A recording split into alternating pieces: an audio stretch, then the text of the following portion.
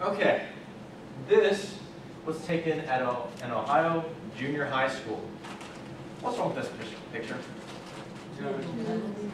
What are they holding to each other's heads?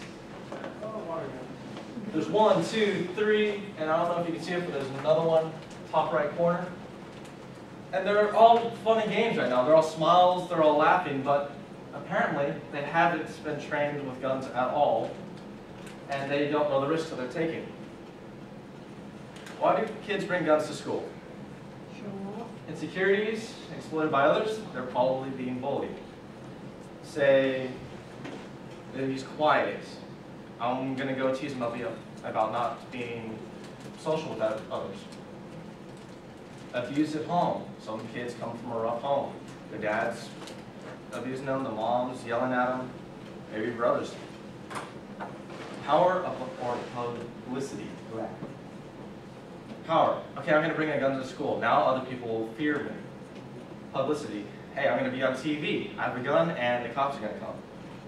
Not sure how that would work. Mentally unstable. They're crazy, they think it'd be fun, like the kids on the first picture. They're having fun with each, with each other. Okay. At Chardon High School, Ohio, TJ Lane, there we go, was emotionally unstable. He was socially awkward and quiet, reserved. None other, uh, all the other kids, whenever they would meet him or hang around him, he was always quiet.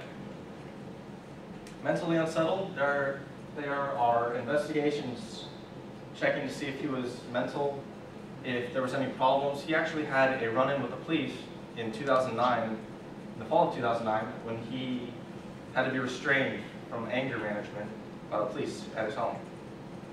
He was always kind, polite, and he had nice behavior, which threw a lot of people off when this happened.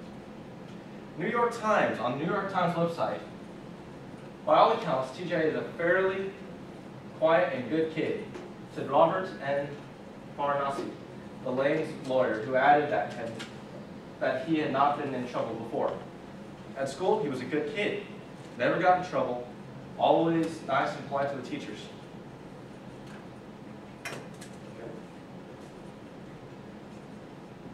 David Raphael, uh, he was another student. He said he always would take smoking breaks with Mr. Lane, and he called him a quiet student who was always alone, socially awkward. He didn't have many friends, even though he had a lot of acquaintances. He was always alone. How did TJ react? The student brought a .22 .22 caliber Ruger semi-automatic pistol to school. He brought a gun. He fired 10 random shots, killing three and wounding two others.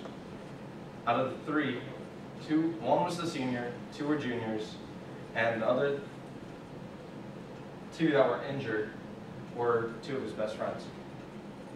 Fox News. Fox News website, Joyce, David Joyce, was a fellow student, and he was prosecuting against TJ. He chose his victims at random, Joyce said. This was not about bullying. This was not about drugs.